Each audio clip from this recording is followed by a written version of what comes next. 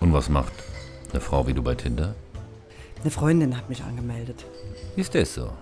Normalerweise machst du sowas nie.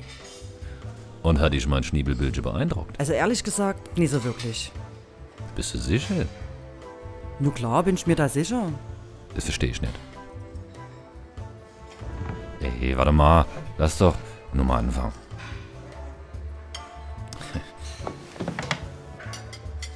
Hast du Hobbys?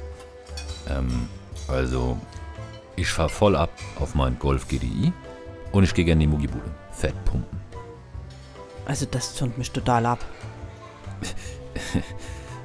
Du bist doch Unvegetarier? So stand das doch in deinem Profil.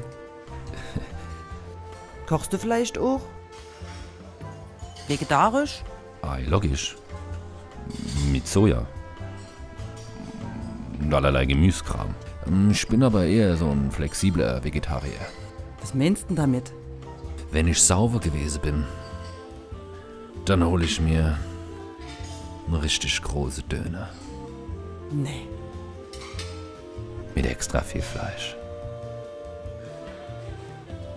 Du, da fällt mir gerade ein, ich muss ja morgen ganz früh raus.